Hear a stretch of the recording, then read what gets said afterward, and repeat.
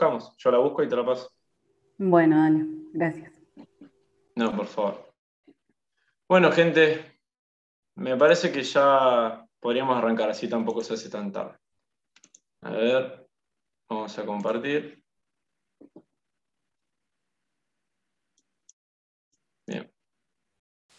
Bárbaro. Ahí ya todos ven mi pantalla. Sí.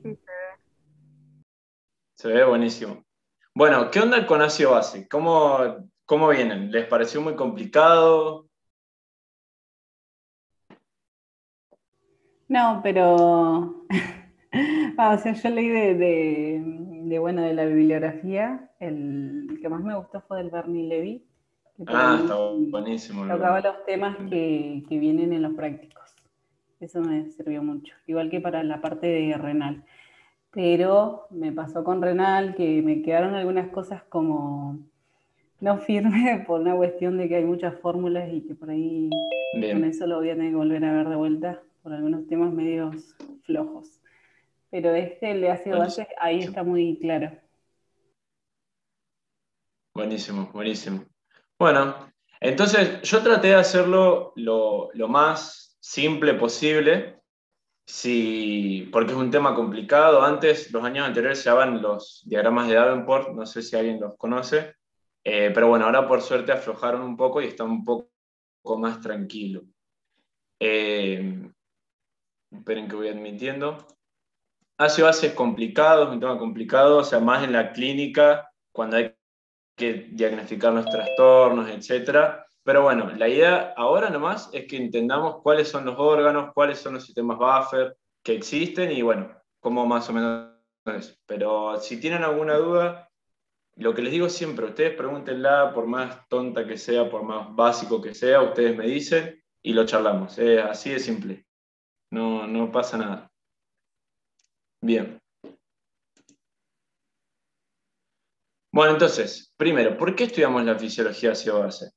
Entonces, eh, es muy importante una homeostasis adecuada de los iones hidrógenos, ya que son muy reactivos y pueden interactuar con puentes de hidrógeno, proteínas, enzimas, entre otras, comprometiendo la función celular e incluso su supervivencia. El entendimiento, el entendimiento del estudio ácido base ha llegado a muchos campos de la medicina, como es la respiratoria, la nefrología, el manejo de pacientes en terapias intensivas.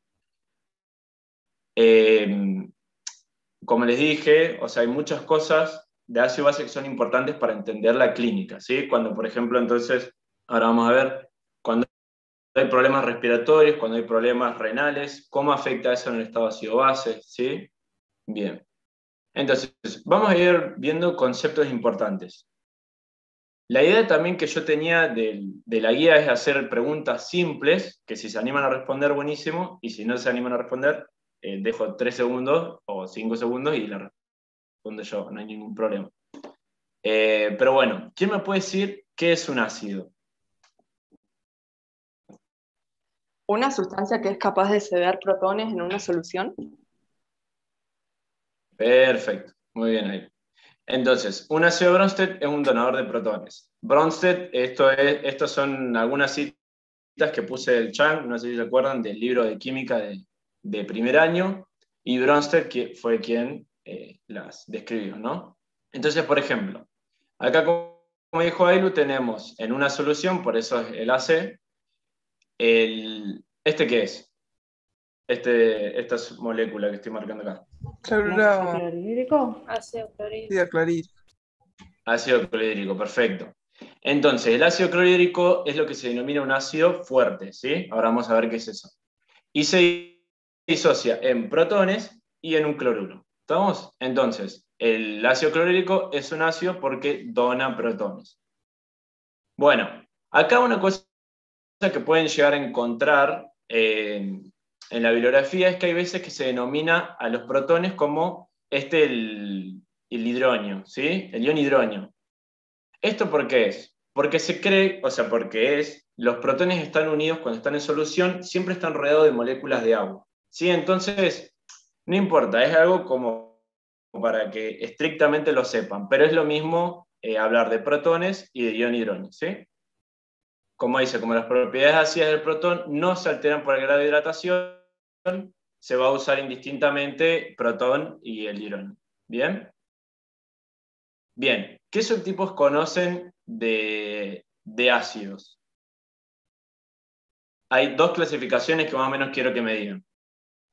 Los Fuertes y fuertes débiles. y débiles. Perfecto. Fuertes y débiles y otra clasificación más. En base, si quieren, a su eliminación o a su formación. Eh, volátiles, puede ser, Volátiles o y fijos. no volátiles. Perfecto. Excelente, excelente. Muy bien. Entonces tenemos fuertes o débiles. Son aquellos, o- estos son por cinética de, o sea, la cinética química que tiene cada ácido, esto no es tan importante que lo sepan, pero están los fuertes y débiles. Los fuertes son aquellos que se disocian completamente y los débiles parcialmente. Y los volátiles o fijos. Entonces, acá esto no, yo voy poniendo citas, siempre me gusta poner citas para que vean que es del libro y no es algo que escribo yo y que puede estar es sujeto a error. ¿sí? Entonces, a nivel periférico, los protones que vienen del dióxido de carbono son amortiguados por la hemoglobina, que se reduce y vehiculiza el protón hacia el alveolo pulmonar. Ahora, esto ya lo vamos a ir viendo. Donde el ácido carbónico es reconstituido y eliminado como dióxido de carbono y agua. Por ello se denomina clásicamente como un ácido volátil, ¿sí? porque son eliminados a través de la respiración. Esa es la parte que más quería eh, que vean. Bien, y después tenemos los ácidos fijos que no pueden eliminarse con la respiración. Bien, que proceden del metabolismo de aminoácidos catiónicos ¿sí? y productos metabolizados de manera incompleta, como el ácido lacto y los cuerpos cetónicos. Eh, ¿En qué situaciones se forma el ácido láctico? En ejercicio En actividad física, En anaerobiosis, en el ejercicio. Perfecto, en anaerobiosis. Entonces, en el ejercicio físico es una de las situaciones que produce ácido láctico elevado, porque en determinado momento el oxígeno entregado no es suficiente para mantener la cadena respiratoria, entonces se forma un poco de ácido láctico, ¿sí? Y después están otras situaciones patológicas en todas aquellas en las que no llegue sangre a las células. Por ejemplo, un shock, por hemorragia, por una falla cardíaca, por lo que sea, ¿sí? Después, cuerpos cetónicos. ¿Alguien sabe qué enfermedad los produce eh, así como característicamente? La La diabetes. diabetes. Perfecto. ¿Y qué subtipo de diabetes? La 1. La- Mm, Perfecto, porque los cuerpos cetónicos se forman por deficiencia de insulina. ¿Sí? Muy bien. Entonces, una base, igual algunas cosas voy a ir un poquito rápido para no aburrirlos. Eh, una base, entonces, es un aceptor de protones. ¿sí? Entonces, acá vemos el agua puede actuar como una base. ¿sí? Bien, y después está, ¿qué es un par ácido-base? Entonces, el concepto, una extensión de la definición de Bronsted de ácidos y bases es el concepto de par conjugado ácido-base, que se define como un ácido y su base conjugada o como una base y su ácido conjugado. ¿Sí?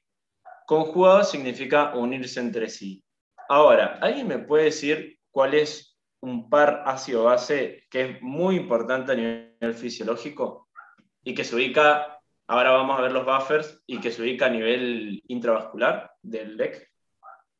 El ácido eh, carbónico y el ion bicarbonato. Perfecto. Muy, pero muy bien. Bueno, el pH. El pH de una disolución se define como el logaritmo negativo de la concentración del, ion hidrógeno.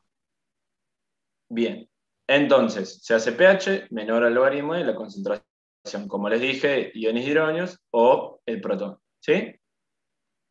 Bueno, ¿qué observaciones tiene este concepto? Y esto acá, atentos chicos, porque Kremer, me acuerdo cuando nos dio el teórico de, de ácido base, eh, hace unos años ya, nos había hablado de que el pH en realidad no, es, no mide la concentración estrictamente, sino la actividad del protón. Ahora, ahora van a ver por qué.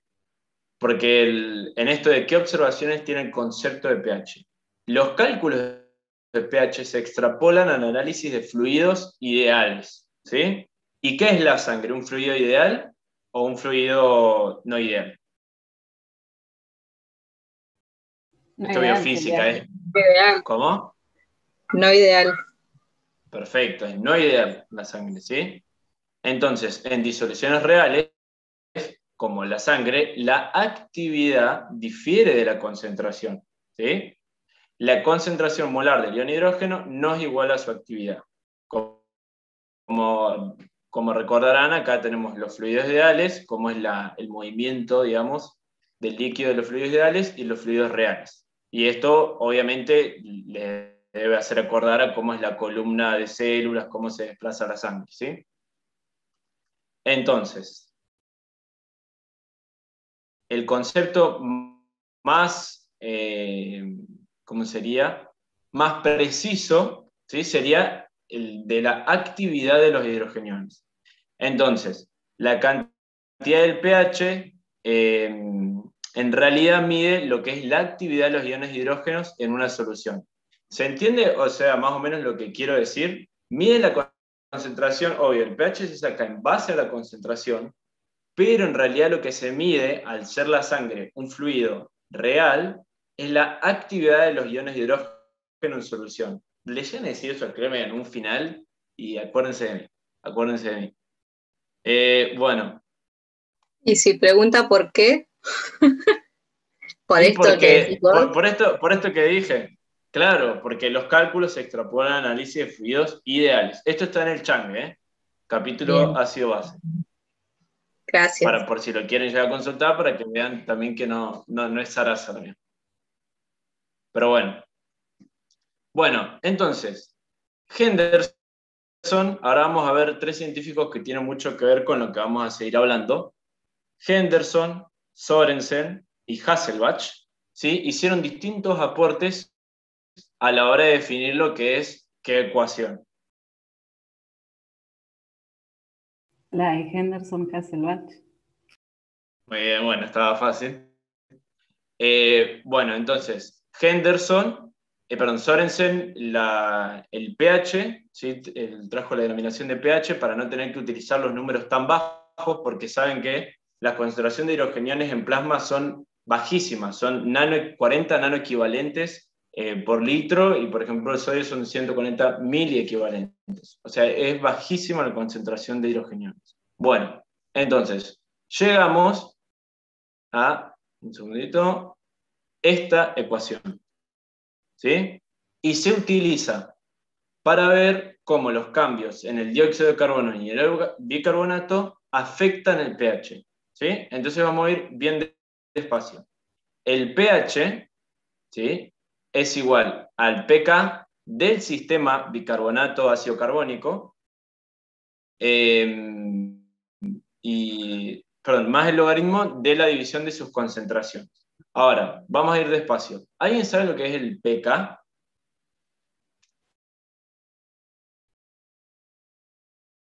Ok, silencio esto. Bueno, el pK estudia lo que son la- las cinéticas de disociación de ciertos pares ácidos base. ¿sí?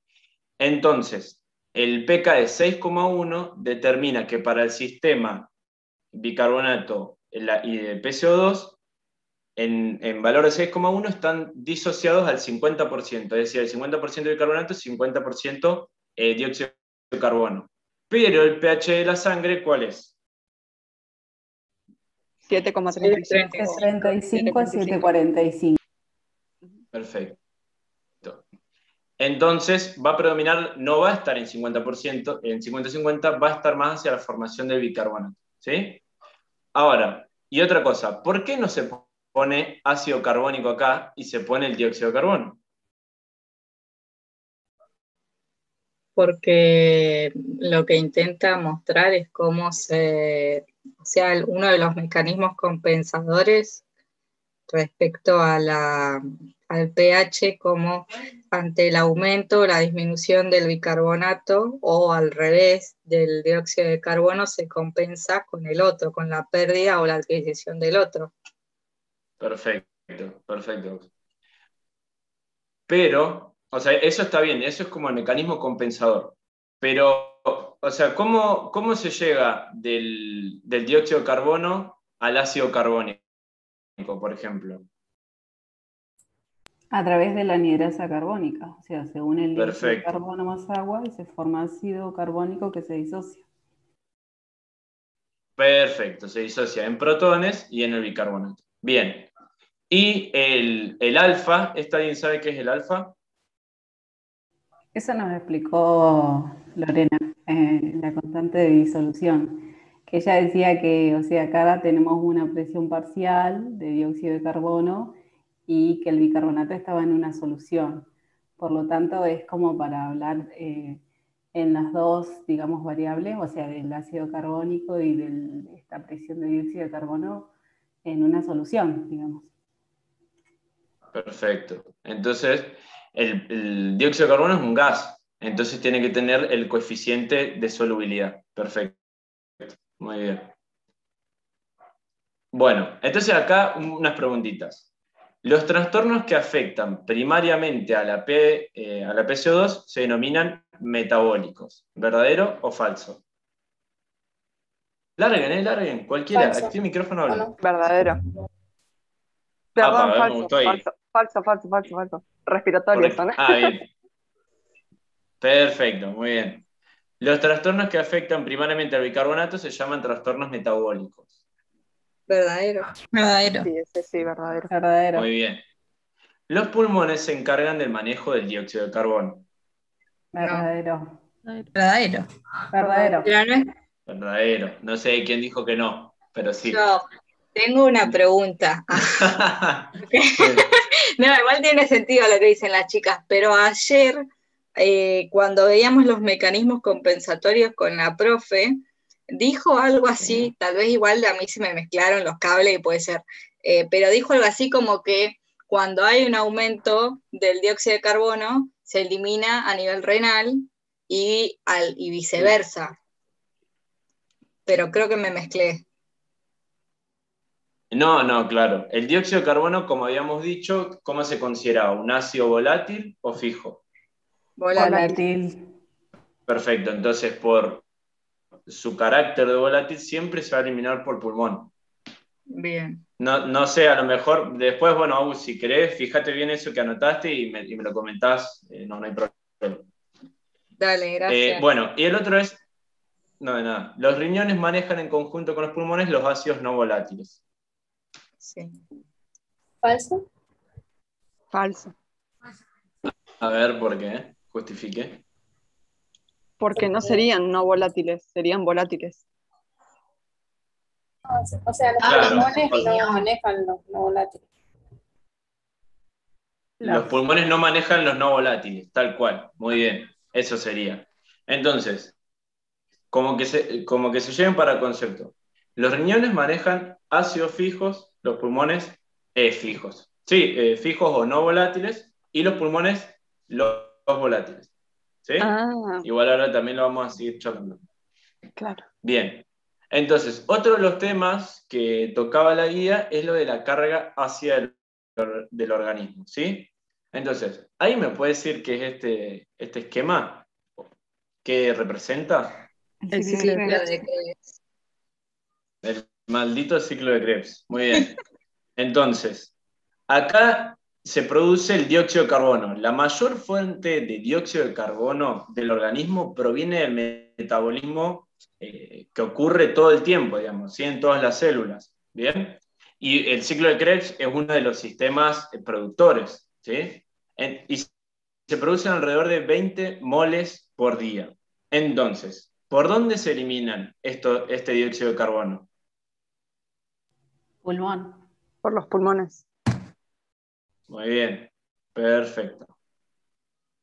Bueno, entonces, acá tenemos, eh, mencionamos el dióxido de carbono y ahora vamos a hablar de la producción de ácidos no volátiles, ¿sí? Entonces, perdonen que esté en inglés algunas cosas, pero bueno, tenía justo el libro del Bernie Levy como la última edición, les quería, les quería traerlo más actualizado, entonces bueno, está en inglés, pero le- les voy diciendo.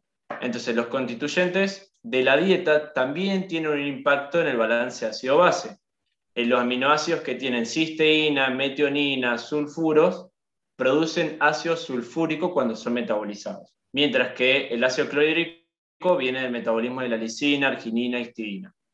No importa que se tengan que saber cada aminoácido, sino que los aminoácidos producen ácidos no volátiles, ¿sí? Que vienen del metabolismo de sus aminoácidos. Entonces, eh, dice que en, promedio el metabolismo de los eh, aminoácidos dietarios produce ácidos no volátiles. ¿sí?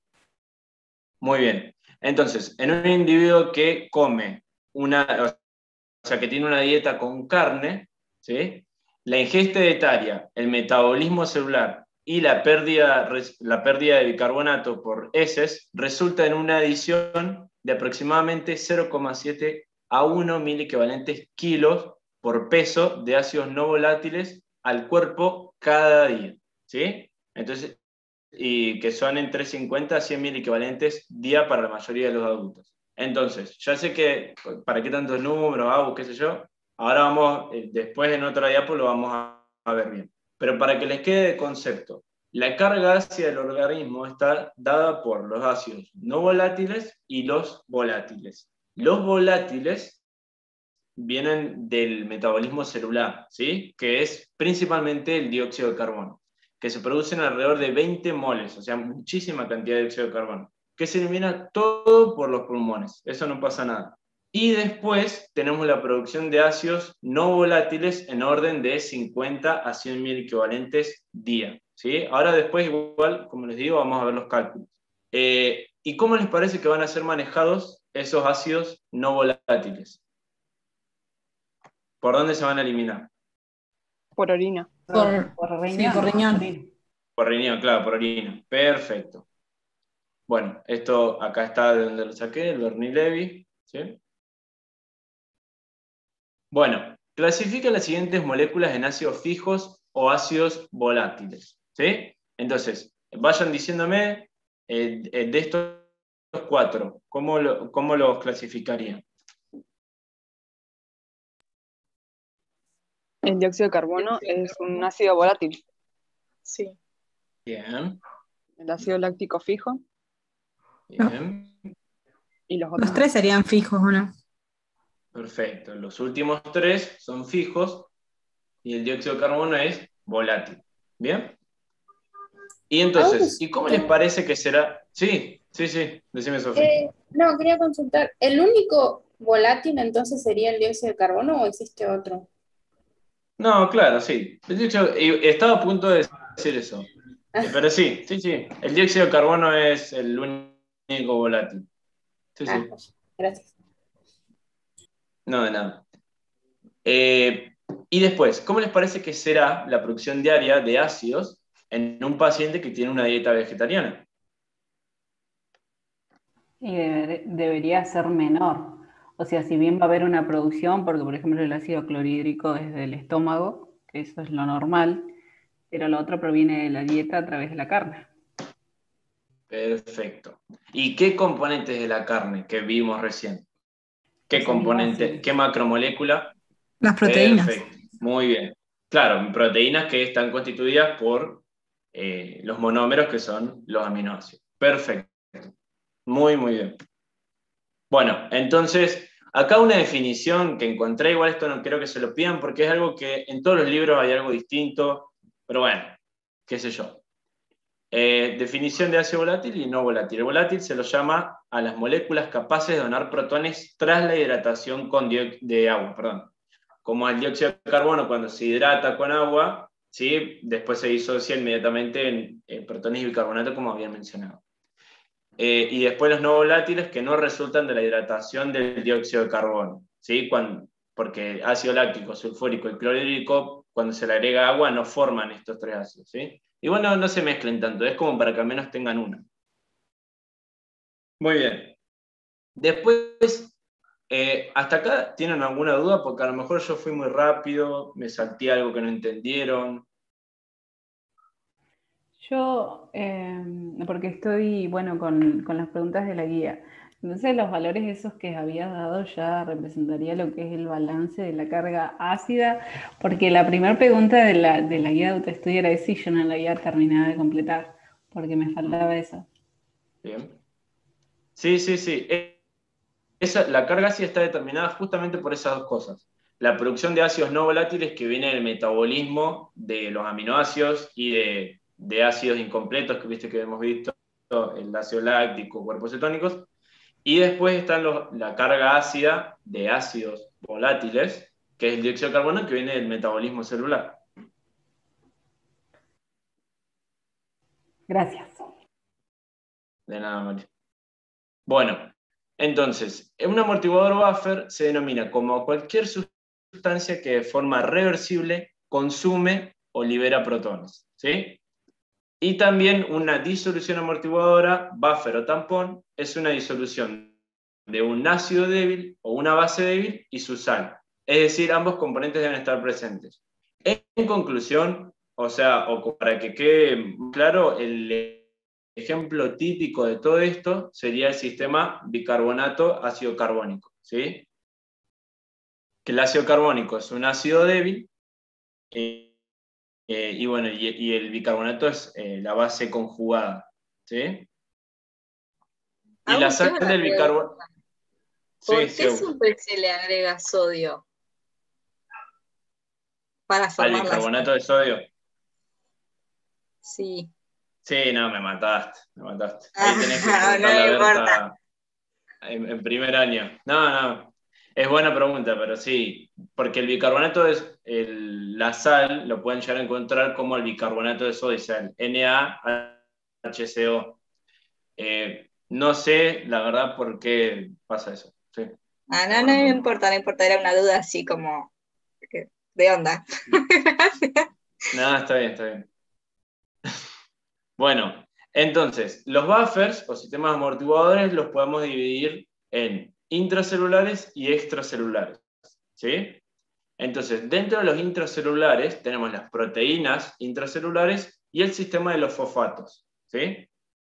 Y dentro de los extracelulares tenemos el sistema bicarbonato ácido carbónico, ¿sí? que es el que ya o menos charlamos, la hemoglobina, ¿sí? la hemoglobina, como saben, eh, también tiene acción en equilibrio ácido-base, las proteínas plasmáticas, como albúmina, y los fosfatos nuevamente.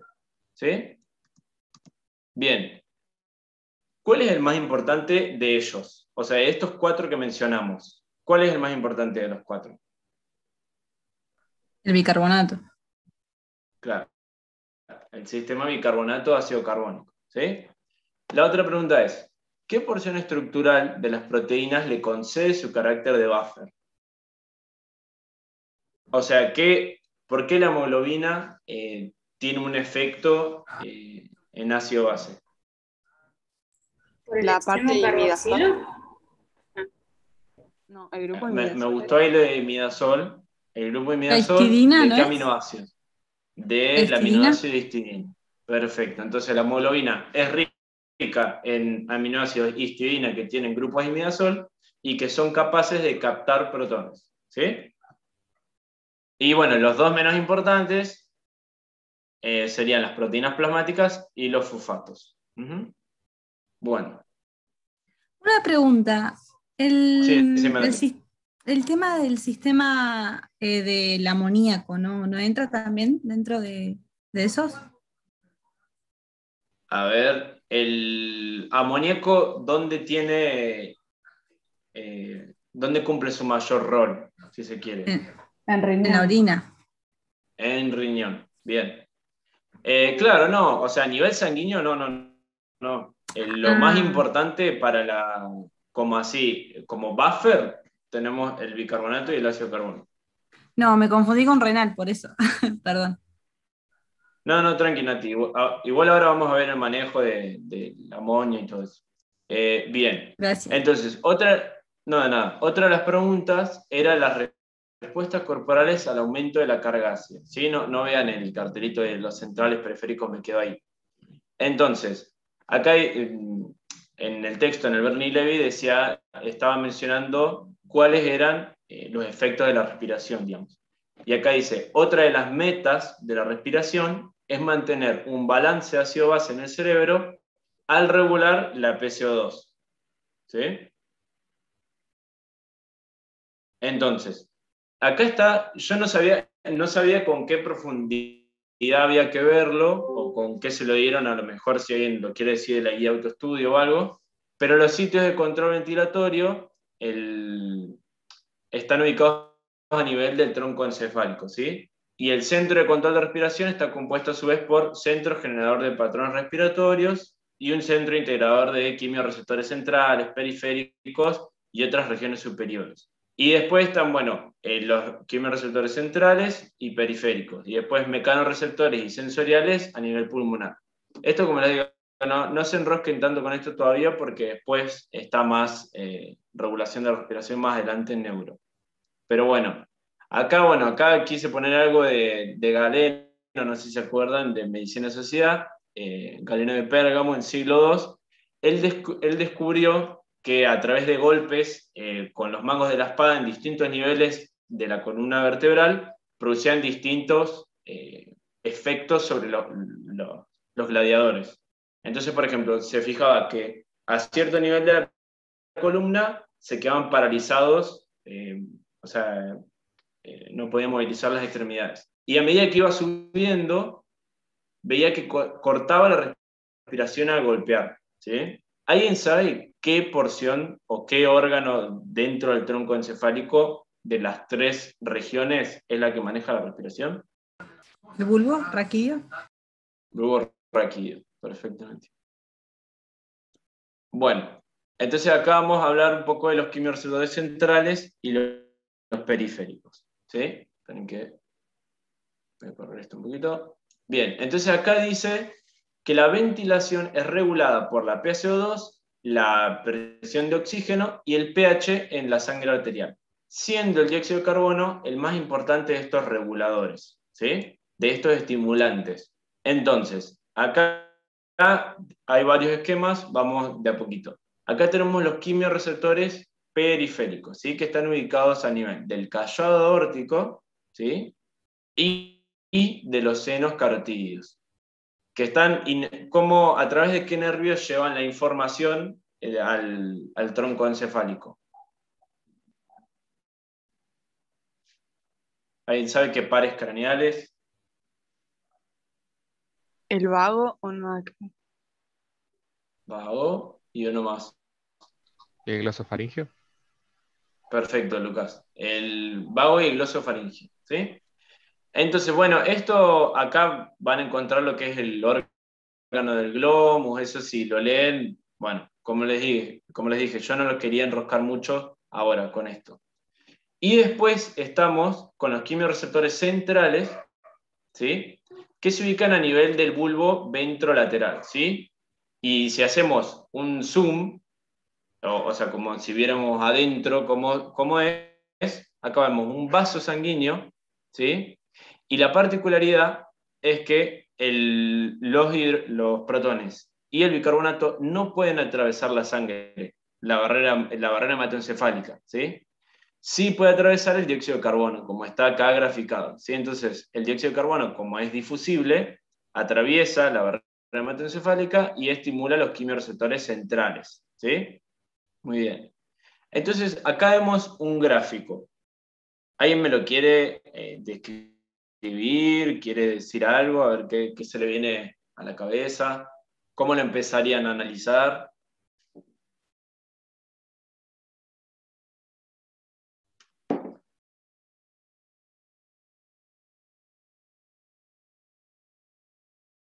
Bueno, no hay problema, no hay problema.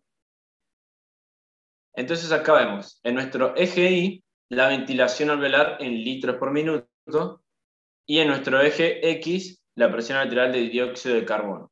¿Sí? Entonces, ¿qué conclusión se podría llegar a sacar de este gráfico? ¿Qué ocurre con la ventilación a medida que el dióxido de carbono aumenta? Aumenta, también la ventilación. Perfecto, aumenta también la ventilación. ¿Sí? Entonces, eso es el concepto que se tienen que llegar ante el aumento de la carga ácida, ¿sí? que por respuesta de quimioreceptores eh, centrales y periféricos, eh, eh, se, integra la información y a través del centro generador de patrones respiratorios se aumenta la ventilación. Después está, pueden llegar a encontrar del grupo respiratorio dorsal, ventral, que eso, como les digo, yo ahora no los quería confundir mucho con eso. Pero llévense el concepto este, de que cuando aumenta la carga de dióxido de carbono, aumenta la ventilación alveolar, ¿sí? Para lavarse de dióxido de carbono. Por eso, por ejemplo, en un, en un ataque de pánico, ¿sí? ¿Qué, ¿Qué trastorno ácido base les parece que puede ocurrir? ¿Una alcalosis? Porque hiperventila, puede ser. Entonces produce alcalosis. Perfecto. ¿Alcalosis qué? Si se afecta el dióxido de carbono, ¿cómo es? Respiratoria. ¿Respiratoria o metabólica? Muy bien. Alcalosis respiratoria. Muy bien. Perfecto. Bueno, entonces, Después hablaba, no, nos pedía que hablemos un poco de las células intercalares y cuál era, qué? Ahí está. Las células intercalares y cuál era el impacto del potasio y las consecuencias sobre la excitabilidad. Entonces, a ver, bueno, entonces acá ya nos metemos en riñón, ¿sí? Estos porcentajes que puse, eh, que a lo mejor puedo confundir acá, mala mía, son los sitios que indican el porcentaje de reabsorción de bicarbonato. ¿sí? Ahora lo vamos a ver un poquito mejor. Pero en términos generales, ¿dónde se ubican las células intercalares? Dentro de la nefrona. En el túbulo colector. En el túbulo colector. Bien, túbulo colector y túbulo contorneado distal también pueden llegar a aparecer un poco, ¿sí? Eh, ¿Y qué poblaciones conocen? ¿Cuántas hay?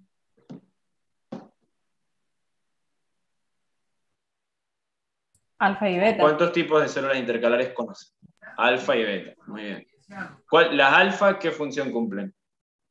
Porque contrariamente a Tiene que ver con la expresión de, protones, pero no me acuerdo bien la diferencia entre una y otra. Las alfa no, protones al líquido tubular y las beta son las que están eh, bicarbonato. Bicarbonato, reabsorben bicarbonato. Perfecto. Muy bien, chicos.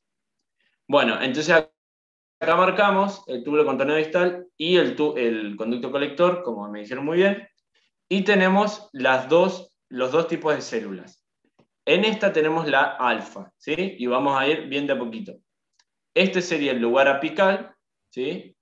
El lugar, che. El polo apical y el polo vasolateral, ¿sí? Y esto sería la sangre, esto rosca. Entonces, vamos por el polo apical.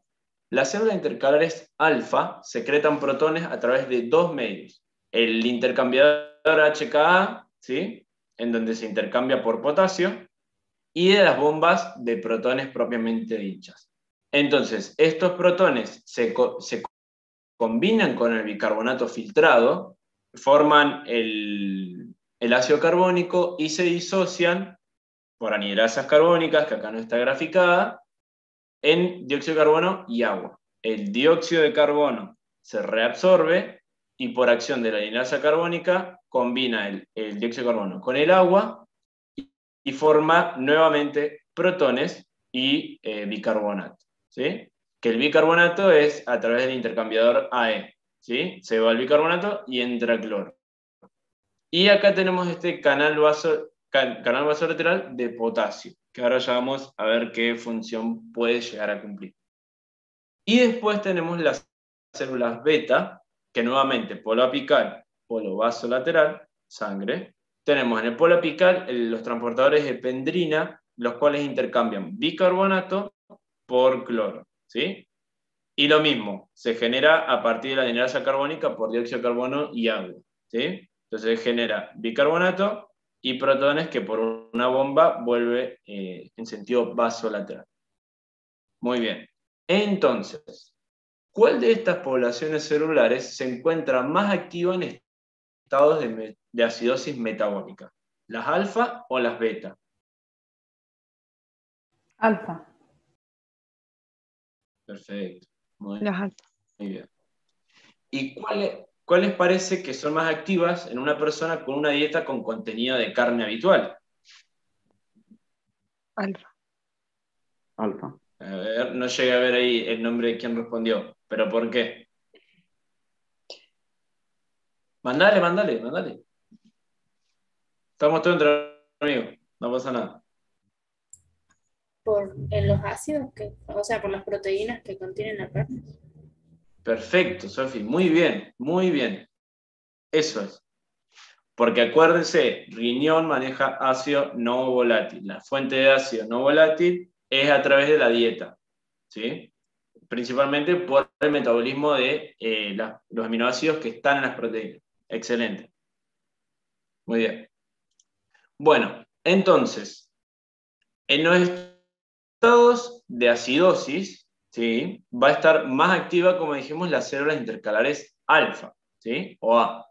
Entonces, se va a secretar mayor cantidad de potasio extracelular, ¿sí? O sea, por el, en sentido basolateral va a llegar más al LEC, o sea, sube el potasio. Bueno, ya lo dije ahí. Eh, bien, ahora esto yo les voy a preguntar, no se, no se asusten por toda la cantidad de, palabras. Entonces, ¿qué, le ¿qué les parece a ustedes que ocurre con la excitabilidad a medida que aumenta el potasio? Con la excitabilidad, ¿eh? La aumenta, lo disminuye. Disminuye porque estaría hiperpolarizado. Aumenta, aumenta la excitabilidad, ¿sí? cuando aumenta el potasio. Ahora lo vamos a ver por qué. Ahora lo vamos a ver por qué. Entonces, este cuadrito, ¿sí? Vamos a ir bien, bien despacio, bien despacio. Síganme acá, potencial de membrana en reposo. ¿sí? Entonces, nosotros vamos a ver en base a los cocientes. ¿sí? Vamos a verlo, esto es normalmente como se encuentra, ¿sí? Porque como saben, el principal cation intracelular es el potasio, ¿sí? Y en el extracelular, ¿cuál es el principal cation? Sodio. El sodio. Excelente. Excelente, muy bien. Entonces, vamos bien despacio con este cociente. Este es el potasio intracelular sobre el potasio extracelular. ¿sí? Y miren acá lo que dice. Aumento del, del cociente, perdón, disminución del cociente potasio intracelular sobre potasio extracelular resulta en una despolarización de la membrana. ¿sí? Entonces, ¿Qué ocurre si hacemos, o sea, en el estado de acidosis que mencionamos con una mayor actividad de células alfa, ¿qué ocurre con el potasio extracelular? Aumentan el LEC. Aumentan el LEC, muy bien. Entonces, si nosotros subimos el denominador, ¿qué ocurre con el cociente? Con la relación potasio intracelular-extracelular si aumentamos el denominador, ¿qué ocurre? Disminuye. Disminuye. Perfecto. eso, eso quiero que, que lo vayan entendiendo, bien despacio. Disminuye el cociente a medida que aumenta el potasio extracelular. Y se ve, se ve en este gráfico, si nosotros aumentamos la cantidad de potasio extracelular, el potasio que está intracelular por una cuestión de gradiente de concentración, no va a poder difundir hacia el extracelular. ¿sí? Entonces, ¿qué ocurre con el potencial de membrana?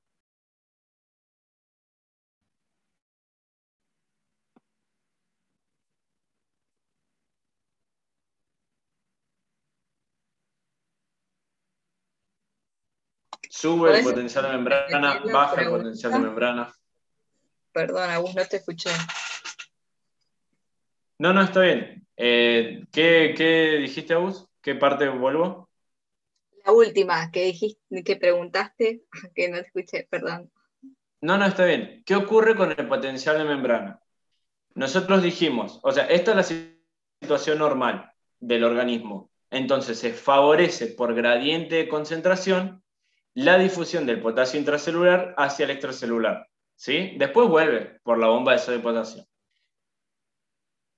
Entonces, si nosotros aumentamos el potasio extracelular, ¿qué va a ocurrir con el de, adentro? ¿Qué va a pasar? ¿Va a salir? ¿Se va a quedar? que no va a difundir.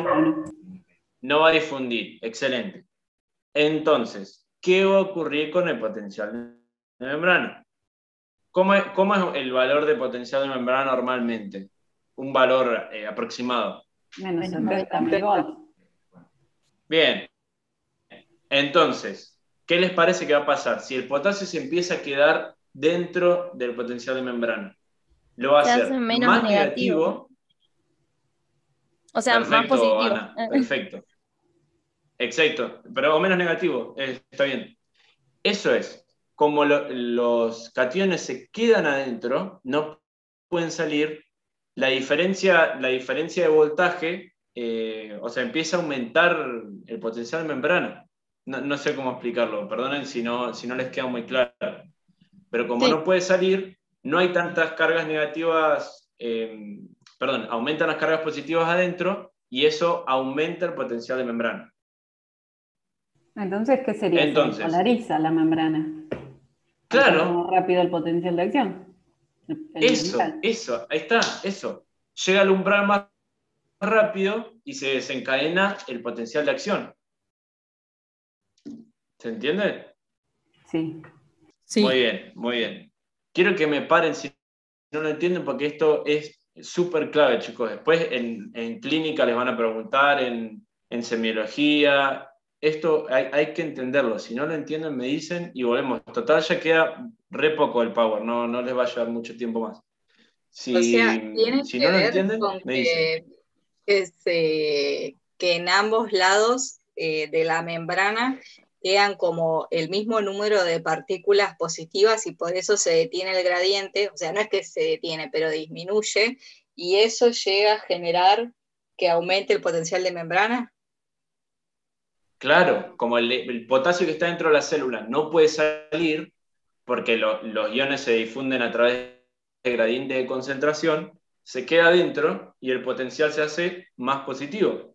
Y no, me acuerdo quién lo había dicho, se llega al umbral más rápido, por lo tanto se desencadenan potenciales de acción. Bien, gracias. Entonces, no, no, eh, quiero que lo entiendan, no, no hay problema. Por eso... Eh, eh, dice acá que si disminuye el cociente, se despolariza la membrana. ¿sí? Entonces, miren acá, por ejemplo, en la actividad neuromuscular, eh, ante un, potasio plasmático alto, hay hiperexcitabilidad muscular y más tarde debilidad, bueno, por desgaste, porque ya se desgasta la reserva de energía, por lo que sea. Pero ¿se entiende por qué hay hiperexcitabilidad, un estado de hiperexcitabilidad generalizado? Sí. Bien, bien. No importa si no, no lo saben, si no lo entienden, me lo dicen. ¿Y cómo les parece que a nivel cardíaco, por ejemplo, podemos evaluar estos, estas alteraciones del potasio? Por un electrocardiograma. Electrocardiograma. Perfecto. Bueno, acá ya entonces esto ya lo respondimos. ¿Qué ocurre con la excitabilidad celular? ¿Sí? Entonces, ¿se entendió el potasio excitabilidad? Sí. Sí. Bueno, ahí está, bien, bien firme lo quiere, bien firme. Y si no se entiende, me dicen y lo volvemos a explicar. Bueno, a ver, ya falta poquito, chicos. ¿eh? Bien, manejo ácido base a través de la nefrona. Bueno, entonces vamos recordando algunos valores. La producción de ácidos fijos diaria es de 40 a 80 equivalentes y tomamos un valor medio de 70 equivalentes. ¿Se acuerdan lo que dijimos al principio de, bien al principio de por el metabolismo de las proteínas, etcétera, etcétera, se producía 70 equivalentes aproximadamente por día, de 50 a 100? Bueno, entonces vayan, vamos con este número, 70 equivalentes. Y la concentración del bicarbonato es de 25 equivalentes litro. Si multiplicamos la concentración del bicarbonato por los litros que hay en plasma, ¿sí? nos da que hay 350 mil equivalentes en total en el cuerpo. Entonces, si nosotros, eh, y si, no existiera reposición de bicarbonato, se presionaría el total del mismo en 5 días, ¿sí? porque tenemos en total 350, por día se producen 70 eh, de ácidos fijos, porque los ácidos fijos son amortiguados por el bicarbonato, entonces lo perderíamos todo en 5 días, el bicarbonato, ¿sí? Por lo tanto, tienen que existir mecanismos que repongan la concentración de bicarbonato. ¿sí? Bueno, ¿cuáles son los, los principales mecanismos regeneradores de bicarbonato? A, acidez titulable, B, sistema bicarbonato ácido carbónico, C, buffering de hemoglobina, D, excreción de amonio, B y C son correctas o A y D son correctas. ¿La excreción de amonio sería? A y D para mí. Sí, ¿A regeneradores o de...? A y D, sí, regeneradores. Bien, A y D, ¿están seguras? Eh, Para mí está. Pero regeneradores, ¿qué sería? ¿Que se forma de vuelta? Porque... Y porque, claro, ahora, ahora vamos a ver bien en la nefrona, en cada lugar, cómo se regenera. Pero bueno, sería A y D, ¿sí? Cuando yo les pregunto si están seguras, es para que me digan que sí, tienen que estar seguras. Cuando dicen algo, estén seguras. Muy bien. Bueno, entonces lo vamos a ir analizando desde dos puntos de vista la reabsorción del bicarbonato filtrado, que no tampona nada, porque ustedes saben que el, bicarbonato no se elimina por pulmones, está en el plasma y como, eh, como toda sustancia del plasma que puede atravesar la, barrera glomerular, lo atraviesa. ¿sí? Entonces, todo ese bicarbonato que nosotros perdemos por filtración nomás, se tiene que reabsorber. Y después está la excreción ácida en la orina. ¿sí? Que la excreción ácida por orina, eh, ¿qué ácidos se van a excretar por riñón? Ácido láctico. ¿Volátiles o no, volátiles? No, volátiles. No volátiles. bueno, perfecto, ahí está.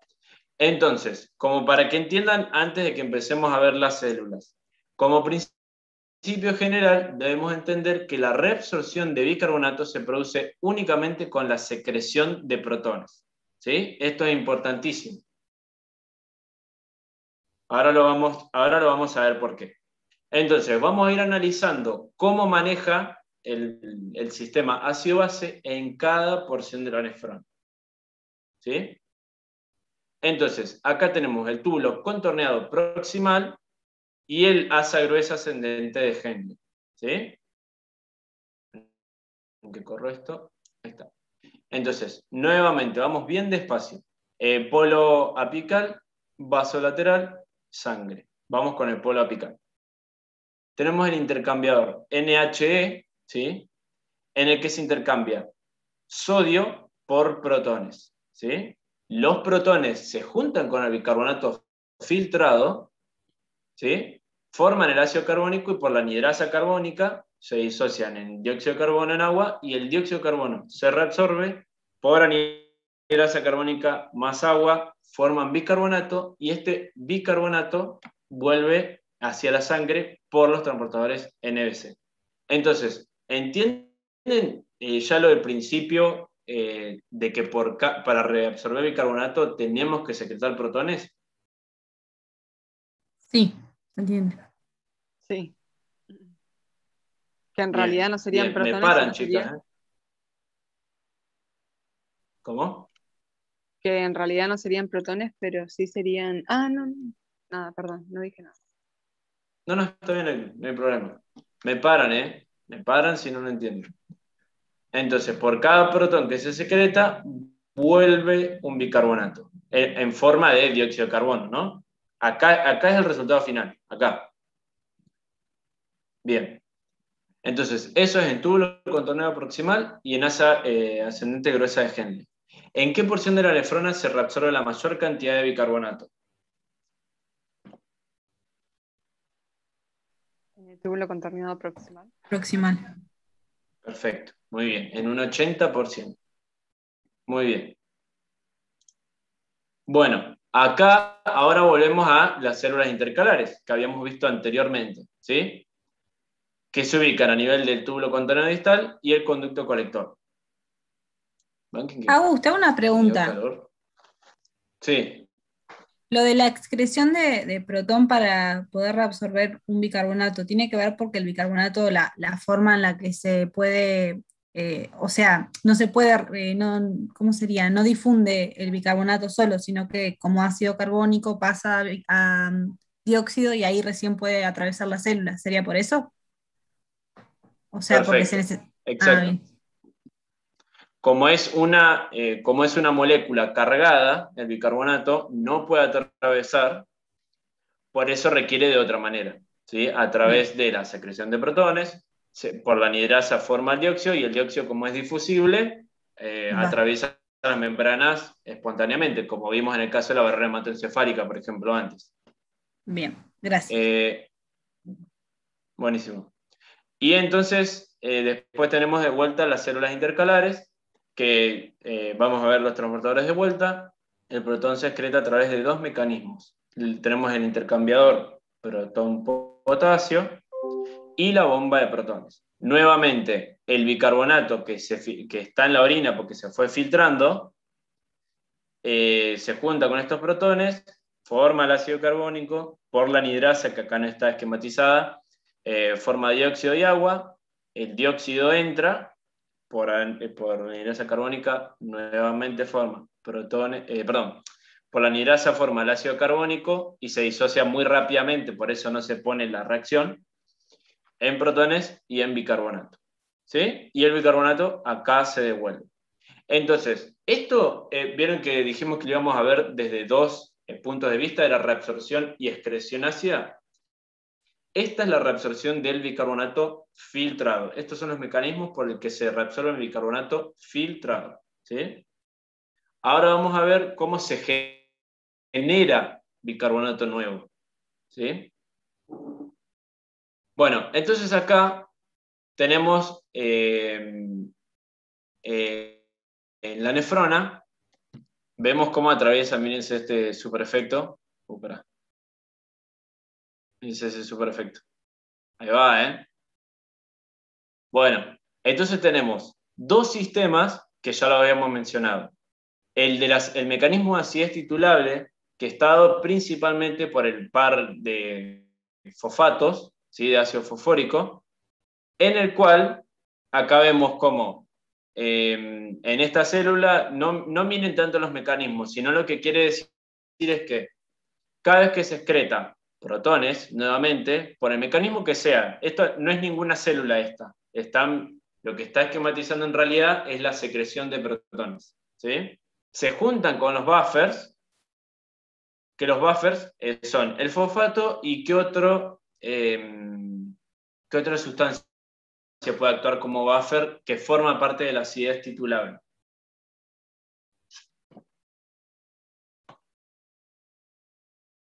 ¿El amoníaco puede ser? Eh, claro, Sofi, ese, ese es otro sistema que es el de excreción de amonio.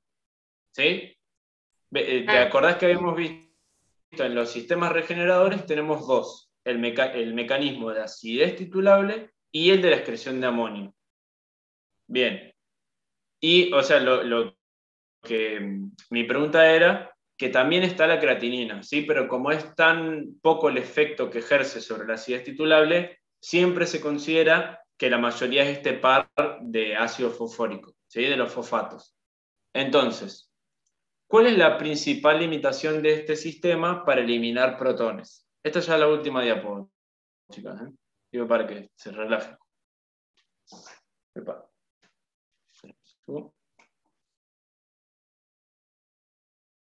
Bueno, la principal limitación que tiene este sistema para eliminar protones es su baja concentración. ¿sí? este par ¿sí? que se filtra no está en tan alta concentración, por lo cual es saturable su, power, su power, su poder buffer. ¿sí? Muy bien. Y después teníamos el de la excreción de amonio. Bueno, Y acá vamos también bien despacio, ¿sí? Todo empieza en la glutamina, ¿sí? Entonces, dentro de, la, dentro de las células, bueno, acá ya está, le voy a preguntar, del túbulo contorneo proximal, se forma a partir de la glutamina, ¿sí? Se forman dos compuestos, ¿sí? Eh, tenemos, este es un glutarato, no importa tanto que lo sepan, que se reabsorbe, no, en realidad sí, sí es importante, en el cual se forman dos bicarbonatos que ya, se, ya vuelven a la sangre y ya tenemos dos bicarbonatos de vuelta. Y después se forma esto. ¿Esto cómo se llama? Amonio. Amonio. ¿Sí? ¿Cuál es el amoníaco y cuál es amonio? ¿El NH3 qué es? Amoníaco. Perfecto. Entonces, el amoníaco, ¿sí? Y esto vamos, vamos despacio de vuelta, les digo. En realidad también se excreta el NH, perdón, el, el amonio se excreta por los NHE. ¿Se acuerdan de los NHE que son estos? Que estaban en el túbulo contorno proximal. Bueno, el amoníaco se elimina por acá. Perdón, el amonio, amonio. Y el amoníaco difunde libremente. ¿Sí? Entonces, se excreta eh, a través de la célula de túbulo contorno proximal el amoníaco y el amonio y viajan por acá. ¿Sí? Acá como se ve. Tiki tiki, viene por acá, sube por el asa ascendente y después se difunde hacia el intersticio medular. ¿sí? Y acá vamos, eh, acá nos Estas son las células que se encuentran en el conducto colector. Tenemos el polo apical y el polo vasolateral. El polo vasolateral representa esta región. ¿sí? es el amonio, el amonio que llega de acá, del intersticio medular. ¿Se entiende? Entonces, por ejemplo, acá vamos a ver. El amonio, cuando llega, se, se divide en amoníaco y protones. Estos protones se juntan con el bicarbonato que viene por dentro de la célula y forman dióxido de carbono y agua. ¿sí? Y estos protones que se formaron a partir de la anhidrasa carbónica difunden para juntarse nuevamente con amoníaco, que se excreta como amonio. ¿Se entiende? Entonces, les leo acá, por ejemplo, esta parte, dice, por, por cada molécula de amonio excretada en orina, una molécula de bicarbonato nuevo se suma al líquido extracelular. ¿Se va entendiendo entonces más o menos? O, o, lo vemos de vuelta, tienen algún paso que no entendieron. Sí, o sea, eh, lo que yo no, no, no, terminé de entender ahí en, el, en, la representación que, que, hiciste, si bien se, se, forma el bicarbonato a partir del metabolismo de la glutamina, pero eh, ¿qué fue lo último que vos dijiste? Que por cada... Eh, claro. Sí, por cada molécula de amonio que se excreta en orina, en orina una molécula de bicarbonato se suma nuevamente al LEC. ¿Sí? Y... O sea, por, ya, ya, desde acá. ¿Serían como dos mecanismos distintos entonces? Eh, ¿cuál sería, ¿Cuáles serían los dos mecanismos? Claro, porque eh, no sé si... Eh, Formación o sea, de bicarbonato y después el amonio, o sea, o el amoníaco en este caso, es el que se va a unir al protón y lo va a eliminar por la orina, ¿sí sería? Claro, eso es. Eso es. Bien. Bien. Totalmente. Eso Bien. es. Entonces, por cada amonio que se va, el bicarbonato vuelve. Entonces, les pregunto yo, ¿cómo, cómo les parece que va a estar la formación de, eh, de, amonio en una acidez, en un estado de acidosis metabólica, por ejemplo. La excreción va a estar aumentada. La formación de amonio.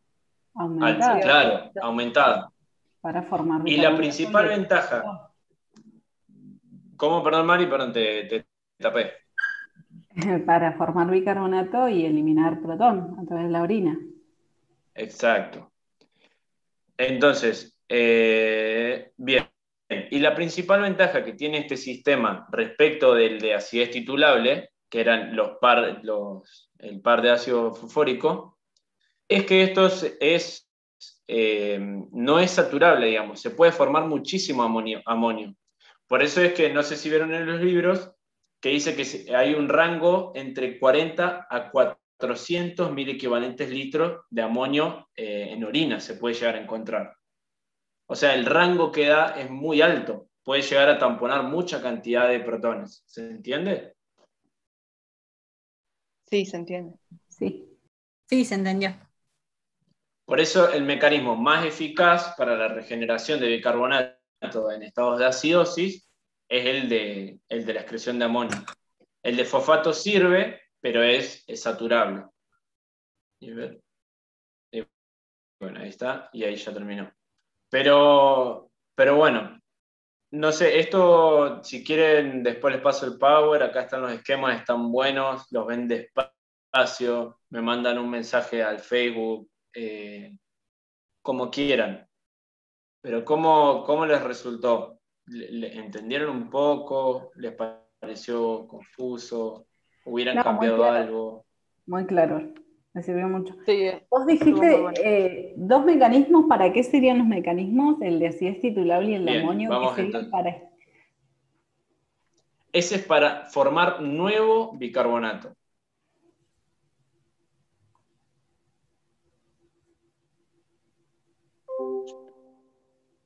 Ahí, ahí ya, alguien se fue, no, se, echó las bolas hacia base.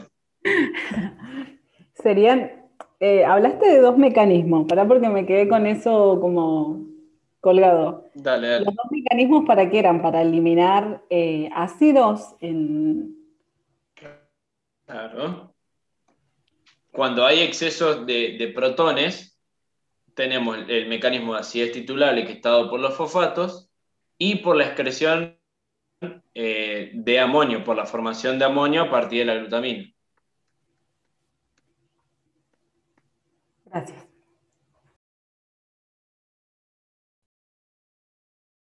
Pero nosotros tenemos una concentración de bicarbonato que es la que se filtra y que es la que se reabsorbe completamente. Y después, para el exceso de protones que quedan o de ácidos, se forman, o sea, tenemos estos dos sistemas para volver el bicarbonato. Tenemos el de la acidez titulable y el de la excreción de amonio.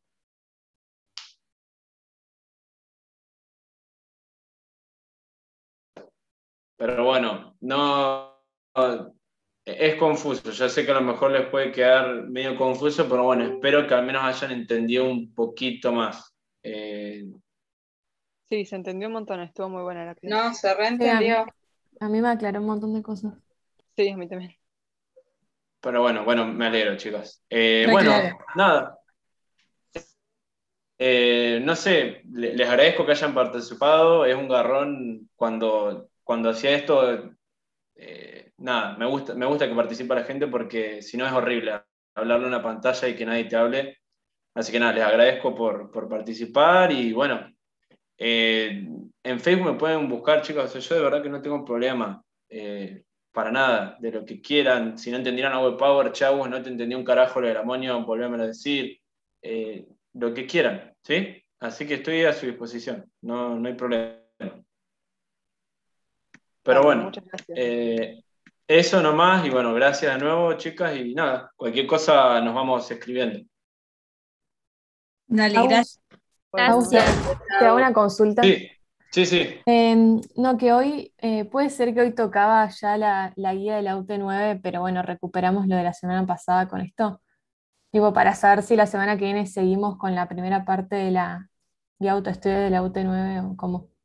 Claro, sí, sí. O sea, lo que sí va a haber hoy ya, se ve la, semana que viene.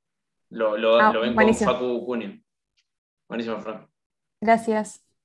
Bueno, no, de nada. Bueno, gente, Gracias y nos, eh, estamos en contacto, cualquier cosa. Bueno, muchas gracias. Gracias. Gracias. gracias.